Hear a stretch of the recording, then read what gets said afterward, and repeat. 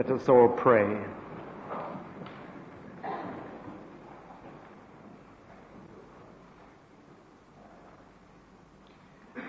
Father, before we offer you our prayers and praises, we need to be tuned to higher things. Before we speak to you, we ought to listen so that you may speak to us and that all our worship may be a response, a glad response to anything you have to say. We only love you because you first loved us. We only come here because you have come into our lives in some way. And so we gladly respond to the invitation. We've been busy about many things already this morning getting up and getting dressed, getting the breakfast, coming here, finding somewhere to park.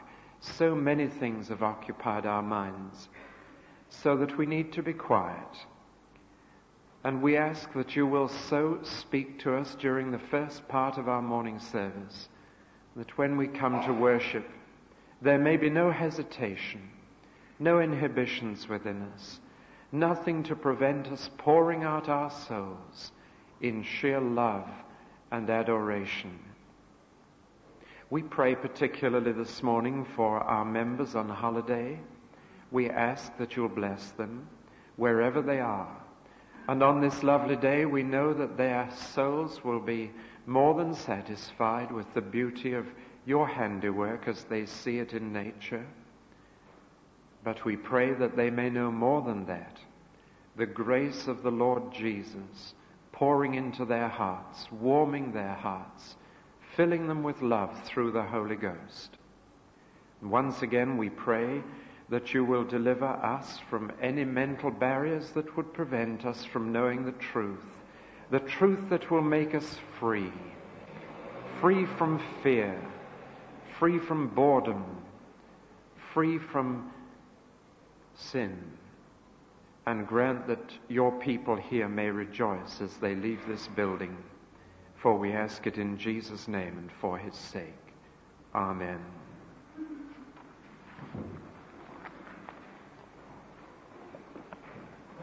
Yesterday morning I was sitting in the Odeon Cinema at the top of the High Street listening to Lord Robens, the Chancellor of Guildford University, give an address on the moonshot. And he always has something worth saying. And one or two quite memorable things, remarks he made about the flight to the moon. Uh, last Sunday night, I must confess, I didn't go to bed and stayed up all night to be a witness of this historic occasion. But what one of the things that Lord Robens said was this that while it was an amazing achievement to get that man on the moon, what struck him as just as marvelous, if not more marvelous, was the fact that we could see it happen at the moment when it did. In other words, not just the miracle of getting there, the scientific wonder of landing a man there, but being able to share in it at the time. And certainly that's what constantly struck me while I strove to keep my eyelids open in the early hours of last Monday morning. That I could see them do it and hear them speak on a planet where there is no sound because there's no atmosphere in which airwaves can move. And we could hear them talk and we could see them do it. The marvel of communication which this represents. Now, my subject this morning is the subject of communication. In our third and last study of the Holy Ghost's work in the book of Acts, this is the thing that strikes me about the many references. That in fact, God had a problem of communication, if I could put it that way. Here is God in highest heaven, here are his people on earth, and he desires to communicate his thoughts to them. How does he do it? This is an even greater gulf to be bridged than the gulf between moon and earth, because the moon being a physical sphere and the earth being a physical sphere and radio waves being possible through space, there was a direct physical connection between moon and earth via radio. But from highest heaven where God dwells, which is a spiritual sphere, to earth, which is a physical sphere, there is an even greater problem of communication, a problem which man, with all his technology, will never be able to solve. Because technology can only accomplish physical communication through some kind of physical law. But God is a spirit, and heaven is a spiritual realm. And to cross the gulf between the spiritual and the physical world of physical people was God's problem of communication. Now, when we studied the Old Testament, we found that God had many different ways of getting over that problem. For example, God wrote on walls. That was one way he got over the problem. Uh, men do a lot of writings on walls of various kinds, but God did it. And you find in the book of Daniel that God wrote on the wall of Belshazzar's palace a message which he wished to communicate. And the finger of God wrote mene, mene tekel upharsin on the wall for Belshazzar to read. He also wrote the Ten Commandments with his finger on tablets of stone. That was another method of communication he used. Sometimes he sent angels who have the capacity to cross what no spaceman or astronaut has the capacity to do, to cross from the spiritual to the physical realm and convey messages in so doing. And so angels were another of God's methods of communication. Dreams were another. And sometimes God set the very air in motion in such a way that thunder was produced and thunder of a particular kind which formed the vowel and consonant sounds of language, so that he actually enabled people to hear physically his voice through the thunder. That happened at Sinai, it happened at the grave of Lazarus in our Lord's day, it happened at our Lord's baptism, and so on. But the main method of communication which God used for most of the Old Testament was the method of communication we call prophecy. This was the way he chose to convey most of what he wanted to say to earth. And prophecy is quite a simple thing. The word prophet means simply a mouthpiece. A mouthpiece. For example, when Moses went to Pharaoh, Moses was very unsure of his own speech, whether he had an impediment in it or not, we don't know. But he said, God, I can't speak to Pharaoh. And God said, Moses, you tell Aaron what to say, and Aaron will be your prophet. And that's almost the first use of the word prophet in the Bible. It means simply someone who will mouth a message given from someone else. So if someone tells you, uh, please could you go and tell Mrs. Smith so and so, so and so, I'll be round at four o'clock in the afternoon. If you go and say she'll be round at four o'clock in the afternoon, you are a prophet. You have simply conveyed words that you've been given to someone else. The message is not from you. It isn't a message from your mind. It isn't a message you had to think through. It is in no way your message except that your mouth spoke it, that's all. And this is what prophecy is. And God chose to reveal most of His truth, not all of it, but most of it, through the mouths of prophets from Moses to Malachi. And literally he says, I will put my words in your mouth. All you've got to do is to be willing to speak them out, whatever it costs you but I will put my words in your mouth. It is therefore a miracle of speech. The prophecies of the Old Testament didn't come from the minds of the prophets. It wasn't the prophets commenting on the scene around them.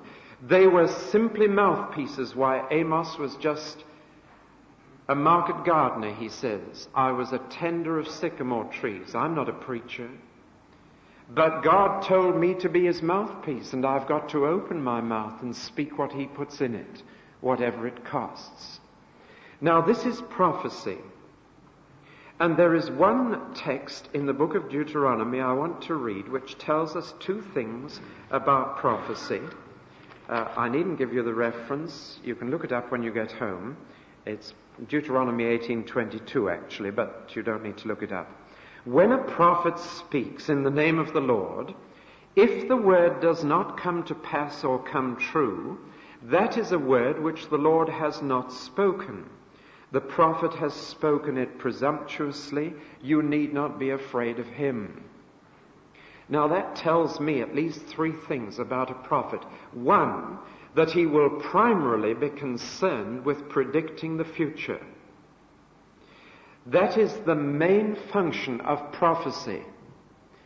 To, to speak the words of God about the future. And clearly that is a miracle, for nobody has the power to predict. I know Dr. Von Braun is telling us there'll be a man in Mars by 1980. He cannot predict that with certainty. If a, the American economy collapsed between now and then, it would be highly unlikely, unless the Russians manage to do it. But no man on earth can say what is going to happen definitely in the future. God can because he knows the end from the beginning. And the gift of prophecy is primarily concerned with conveying to men and women the one area of knowledge that they are incapable of finding out for themselves. Those parts of the future which we need to know if we are going to behave properly in the present.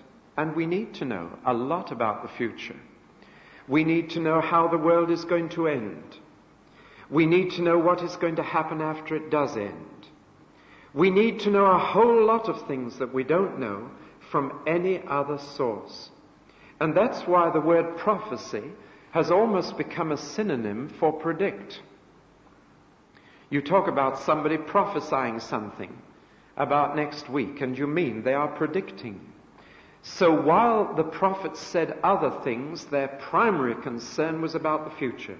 Secondly, it is quite clear that there could be such a thing as a false prophet who would tell you something which was not what God had put in his mouth. And the only sure way of finding out, of course, is to wait and see whether it happens. And that's what Moses says here. Now, of course, there have been many people who predicted the date of our Lord's second coming. And all of them have been proved wrong. Martin Luther did, John Wesley did, Russell did, who started the Jehovah's Witnesses. So many others have done. And they've all been proved wrong because they were not speaking what the Lord had spoken. And the third thing is when a prophet does speak, you need to be afraid of him. Why? Because he is talking about your future. He is talking about what God is revealing. And this is a fearful thing. And so Moses said, if it's a false prophet and it doesn't happen, you don't need to be afraid of him. But there is a healthy fear comes into a soul when you hear God speaking a word of prophecy. You'll realize that prophecy is nothing to do with preaching or teaching, which are quite different functions. Nor is it anything to do with commenting on social and political problems, Alas, today, this is the commonest use of the word in church circles, that the church has said a prophetic word about the social evils of our day. That is not what the Bible understands by prophecy. That is social and political comment of the minds of Christians thinking about a problem. Prophecy does not come from the mind of the church. It does not come from the mind of the prophet. It only comes from his mouth. It is as much a miracle of speech as the gift of tongues. The only difference is that the gift of tongues is a miracle of speech in a language you don't know, and the gift of prophecy is a miracle of speech in a language you do know. In both cases, God supplies the words, and all that is required of the person is the mouth. Now, these two gifts, tongues and prophecy, are always linked or very frequently linked in both the Old and the New Testament. And if you read, for example, 1 Corinthians 14, you'll find the two gifts are interlocked in the life of the New Testament church because they are both miracles of speech. Now, there is a gap between Malachi and Matthew, between the Old and New Testament, of 400 years when there was no word of prophecy, not a word about the future. And prophesying only began again when Jesus, or about the time when Jesus was born. And then Zechariah prophesied, his wife Elizabeth prophesied, the Virgin Mary prophesied, Simeon prophesied, Anna prophesied, John the Baptist prophesied, he was the last of the great prophets and more than a prophet. And supremely Jesus himself was the prophet, which so many people called him because he spoke the words of God. And he said on more than one occasion, The words I speak to you, I do not speak of myself. Only what the Father gives me, I speak to you. So that even the matchless words of Jesus were a gift of the Father through his mouth to us. But what I'm concerned about this morning is the book of Acts.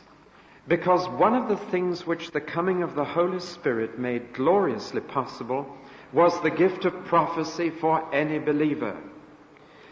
And when Peter tried to explain to the crowds who wondered what on earth was happening, he quoted Joel and said, It will come to pass in the last days that I will pour out my spirit upon all flesh, and your sons and your daughters shall prophesy. Notice that. And at the end of that quote, it comes again. And your men servants and your maid servants shall prophesy.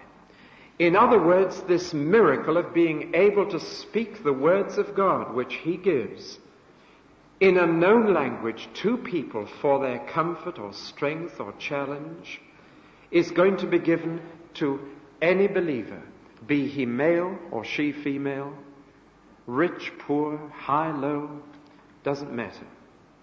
And this is the gift which comes up in Acts. Now, in the first half of the book of Acts, it is the gift of tongues which seems to be singled out more than any other, perhaps linking that with the gift of boldness. But when we come to Acts 11, this gift of prophecy begins to be exercised and goes on through the rest of the book. And there are nine references to it in the book of Acts, which I want to take you through and comment on briefly. Acts chapter 11, verse 27. And if you do look it up, this will convince you that this isn't David Pawson speaking, but the Acts of the Apostles. Now, in these days, prophets came down from Jerusalem to Antioch, and one of them, named Agabus, stood up and foretold by the Spirit that there would be a great famine over all the world and this took place in the days of Claudius, which were in fact a bit later. And the disciples determined, everyone according to his ability, to send relief to the brethren who lived in Judea. And they did so, sending it to the elders by the hand of Barnabas and Saul. Now, here is a very remarkable thing. We have been accustomed in these days to hearing about famine. We've been accustomed to repeated appeals for help from Biafra, from India, from the Far East, from all over the world.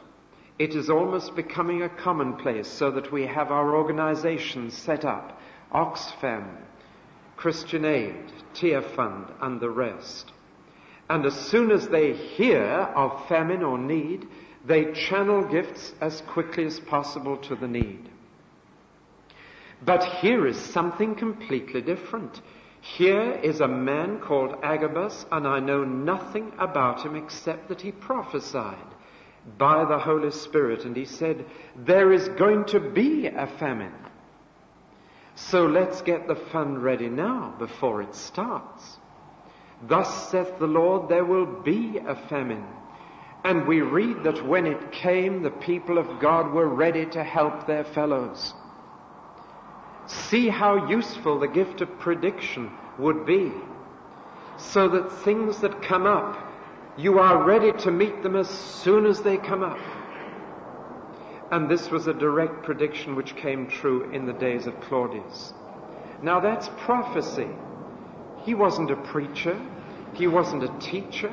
It wasn't his job to get up and give sermons. Agabus was a man filled with the Holy Ghost, and he could prophesy. Now you notice that Barnabas and Saul were the treasurers of the relief fund and were sent with the money to Jerusalem.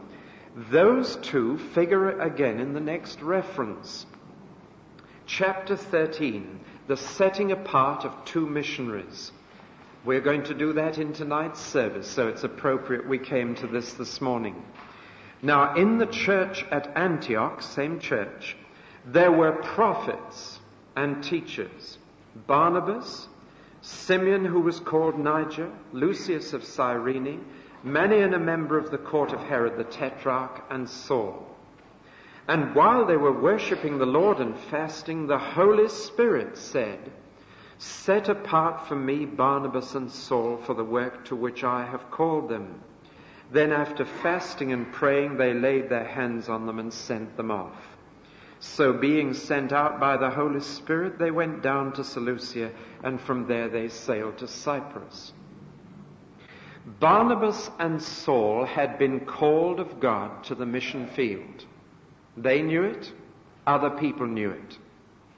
But they had not yet gone. Why? Because they were waiting for the Holy Spirit to tell them when to go and where to go. For once you've heard a call to be a missionary, the when and the where become the main questions. And they did not have the answer. Now you notice it was while a group of five prophets and teachers were worshipping that the Holy Ghost said. Now how does the Holy Spirit speak? The answer is through prophecy. I used to think in my naivety before I ever understood what prophecy was that they must have had a kind of impulse or they took a vote on it or, or somebody had a thought about this and that this was how the Holy Ghost normally spoke. I know much better now. These were prophets and we are told that they were prophets so when they worshipped they expected the Holy Ghost to take someone's mouth over and put words in that mouth. And the Holy Ghost got up and said, Separate me these two. I've called them, now you send them. Separate them from their home. Separate them from this church. Separate them from their daily work. Separate them from everything that engages them now and separate them to this work. Send them out.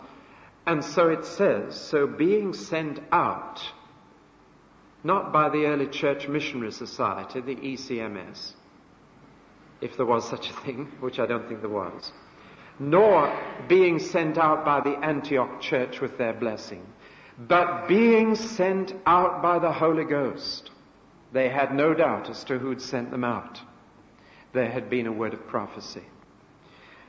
Now then, the third reference is in the same chapter. When they got to Cyprus, they got an interview with the governor.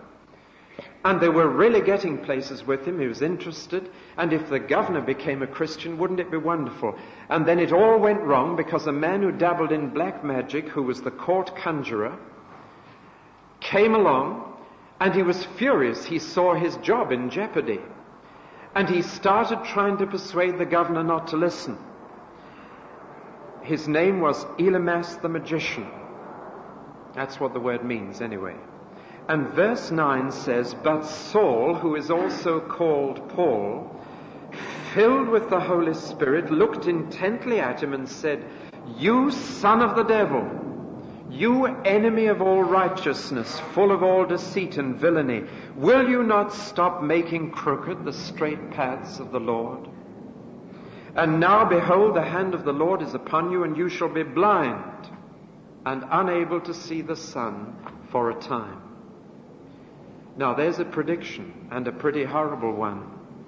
But Paul was full of the Holy Ghost, and Paul knew from personal experience that God could blind you. And he knew that this was a fitting punishment for those who deliberately set their face against God.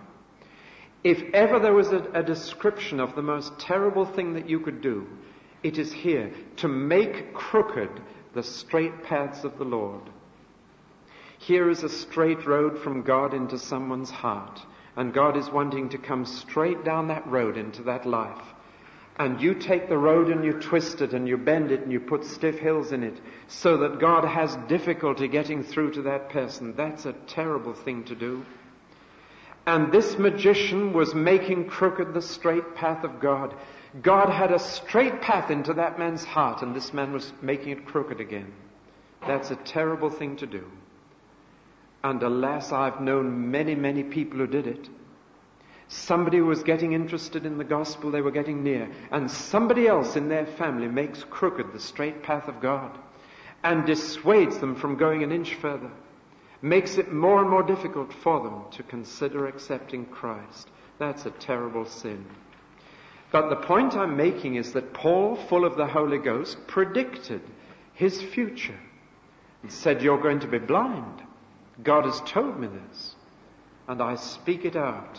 Sometimes a prophecy has to speak of punishment, and many of the Old Testament prophecies did. Now, the next reference is in chapter 15, verse 32. I wonder if you realize just how many references there are to prophecy in the book of Acts until this morning. So, all the way through. There's more about prophecy than baptism. Baptism in water, I mean. And yet we pay great attention to baptism let us do the same to prophecy. Verse 32 And Judas and Silas, who were themselves prophets, exhorted the brethren with many words and strengthened them. And these two men only flit through the pages of Scripture this once. Judas and Silas, we know nothing else about them. But we do know this that a prophet is able to strengthen his brethren.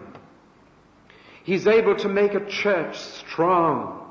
He's able to comfort a church in the deepest sense.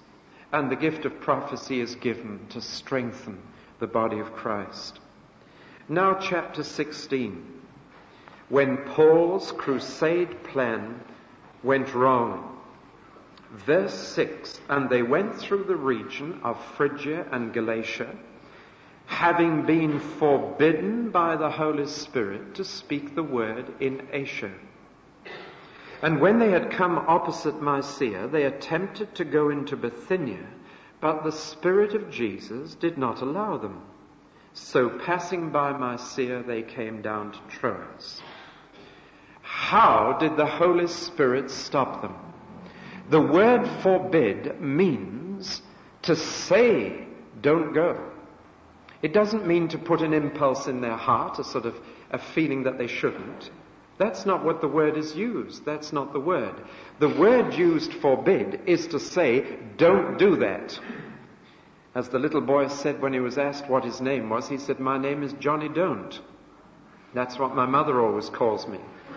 And he certainly knew what the verb forbidding means. That's what forbidding means. Johnny, don't. Spoken out.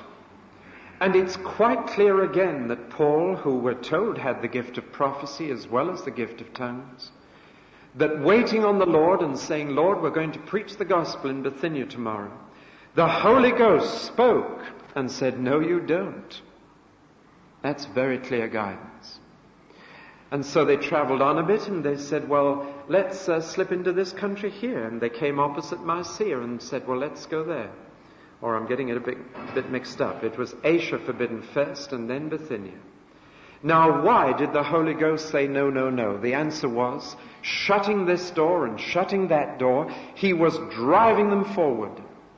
Whenever God shuts a door in your face, don't look at the closed door or you might not see the one that he's trying to open.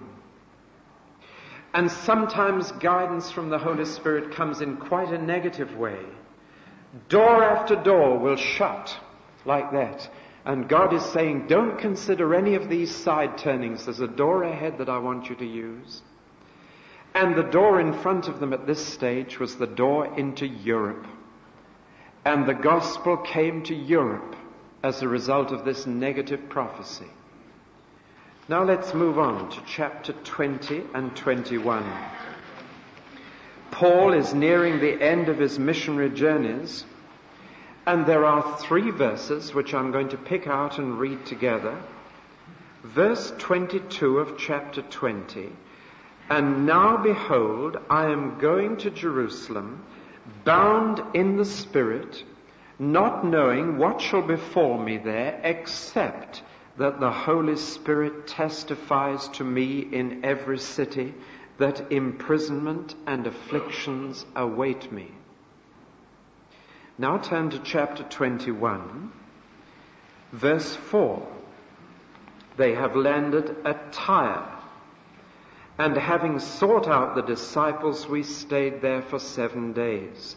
And through the Spirit, they told Paul not to go on to Jerusalem. Now, further down the same chapter, verse 10, they had moved on to Caesarea. And while we were staying for some days, a prophet named Agabus, here he comes again, came down from Judea, and coming to us, he took Paul's girdle and bound his own feet and hands and said, Thus says the Holy Spirit, so shall the Jews at Jerusalem bind the man who owns this girdle and deliver him into the hands of the Gentiles.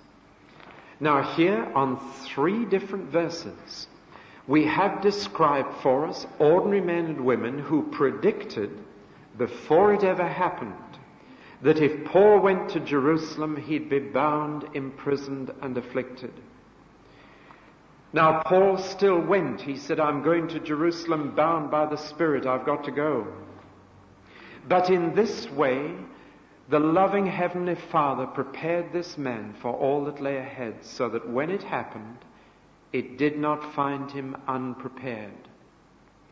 And as our Lord set his face to go steadfastly to Jerusalem, knowing that he would be killed there, so his follower and servant Paul set his face to Jerusalem, knowing perfectly well what was going to happen. And he would never have known if the gift of prophecy had not been given and from time to time, God wants to prepare His servants for something that lies ahead so that it may not find them unready or unable to meet the crisis when it occurs. Now let us look at the same chapter uh, and rather a surprising thing, verses 8 and 9, which I jumped over. On the morrow, we departed and came to Caesarea and entered the house of Philip the evangelist. And we shall see his evangelistic work in the study in this evening's service, who was one of the seven and stayed with them. And he had four unmarried daughters who were prophetesses or who prophesied. Now, these four unmarried daughters had the gift of which I have been speaking, and which is such a useful thing to the Church of Jesus Christ. And the two things I want to say here, I'm tempted to say, I wonder if they remained unmarried because they prophesied, because this could be an embarrassment to their husbands, being married to uh, a woman who could make revelations and personal ones at that. But that's a speculation, and I don't know if that was the reason. But what I'm pointing out is this True to the promise of Acts 2, the gift of prophecy was poured out on women. Now, I don't believe in women preachers or women teachers. I think that is unscriptural. And the same scripture which tells us not to have women preachers is perfectly plain and clear that women will prophesy in a church. And Paul allows this. Indeed, he encourages it. And he speaks in 1 Corinthians 11, the chapter from which we take the scripture we read at the Lord's table for communion services. We read there his instructions for women who pray and who prophesy. And I find that in Christian circles, people go to extremes on this issue of women taking public lead. You either get those who say women must keep absolutely silent and do nothing, or you get those who say they can do anything. Whereas the scriptural balance is very clear. Not preaching and teaching, but praying and prophesying. And where that is observed, you have a wonderfully balanced ministry and fellowship. It's utterly clear, and it's there in the New Testament. And so if the Holy Ghost gives a woman a prophecy, it is not from her mind, so she is not exercising authority over anybody else as she would be if she preached or taught. She is simply God's mouthpiece.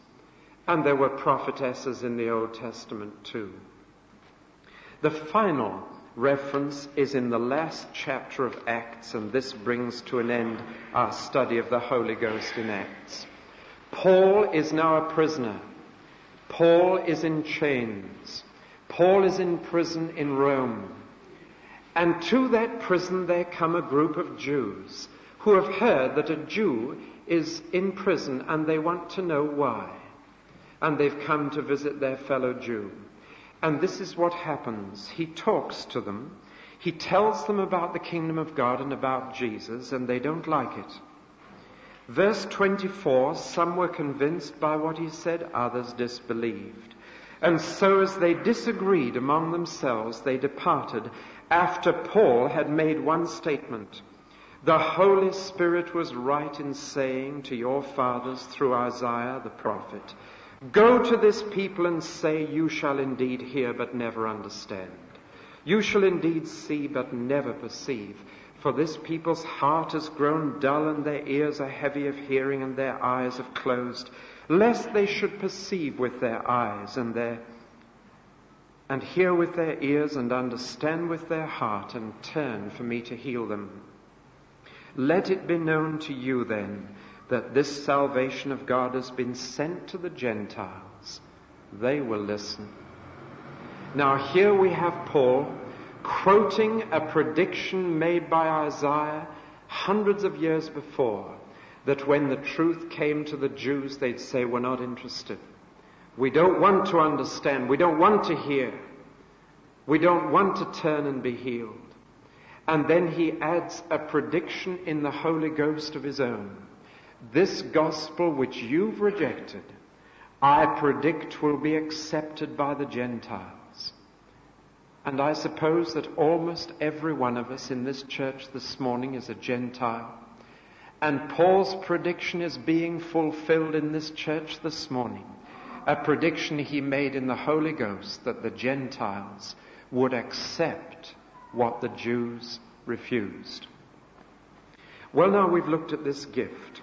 It is concerned with the future primarily, with predicting things of which only the God who knows the end from the beginning has knowledge, and revealing those things to the people of God as far as they need to know the future, to prepare for it and to live for it. Now we come to the crucial question we can see that this gift goes right through the New Testament. When we study 1 Corinthians 12 to 14, that's all about the gift of prophecy. When we study the letters to Timothy, Paul says, Timothy, remember the gift that is in you through the laying on of hands by prophetic utterance. And when we come to the last book in the Bible, the great book that unveils the future, the writer describes his own book as this prophecy. But is this gift still around? Is there any reason why it should not be? I know that prophecy is going to pass away. Tongues are going to pass away. Knowledge is going to pass away. When will these things pass away? When we don't need any more communication. When we're in heaven and see God face to face. When we know even as we have been known. We won't need knowledge then. We'll have it all. We won't need prophecy or tongues then because there's no need for God to communicate. Because there isn't the gulf, we shall all be with Him in glory. And so this gift is quite clearly there, and still there, and still being exercised. May I give you a modern example of this from quite recent days? A year or two ago, there was a communion service held not many miles from here. And those who were gathered, perhaps 200 people, used the Book of Common Prayer. Those who are against things out of a book, let me tell you this story because the Holy Spirit spoke in a liturgical service. And they went through the Book of Common Prayer, order of communion, and they came to the collect for the royal family, and they prayed for Elizabeth, our Queen, and uh, Duke of Edinburgh, Prince Charles, and all the royal family. And at the end of that prayer, as they paused, a lady got up and prophesied. And she said, Prince Charles will have an opportunity very soon to hear the gospel. Pray for him. And then the lady sat down. And there was silence. And then 200 people broke off the communion service and prayed for the royal family and for Prince Charles in particular. Now, I don't know if any of the people present at that service know what I know. And my knowledge came from a women's magazine that my wife was reading one day, some months later. And my wife said, There's a very interesting article here about Prince Charles, and there's a bit in it about his religion. And she passed it over to me. And this was the usual article about the royal family with all kinds of personal habits and all sorts of things publicly paraded for us all. But in this paragraph, it said this One weekend, while Prince Charles was in Australia at Timbertop Camp, he went on a, a weekend trek into the backwoods, into Aborigine territory. And on the Sunday morning, he saw a corrugated iron shed out in the backwoods of Australia. And he went to it, and it was an Aborigine mission hall. And he went in for the service. It was more lively and noisy than anything he'd ever been in his life, having been carefully brought up. And he went in and they sang their choruses and they clapped their hands. But he wrote home to his mother, the Queen. And He said something like this I think I now know what real Christianity is. And I said to my wife, could we work out when that would be? And we worked it out. And it was just after the service, not many miles from here. Now, only God knew that. And I don't know until I've told you if anybody else knows the sequel. But that's what happened to the future King of England. And a word of prophecy in a Church of England communion service just enable people to pray. Can't you see what a lovely gift that could be? Can't you see how God longs to speak to his church direct? Not just a prepared sermon from the man who is there to do it though that has its place. And in the New Testament, there are teachers whose job it is to do what I've been doing this morning. But prophecy has nothing to do with preaching. Prophecy can be exercised by anyone who's filled with the Holy Ghost. It is a gift for the body of Christ and a gift that has been given and never withdrawn, not to my knowledge, and is waiting to be claimed. Let us pray. Oh God, it was marvelous that men could communicate over all those many miles, but we praise you now that you can communicate with us and that we can com- communicate with you now. We thank you for your word and we thank you that you are a God who speaks and that through the ages you have spoken and put words into people's mouths. Oh God, our Heavenly Father, help us to listen and help us to obey whatever you say through Jesus Christ our Lord. Amen.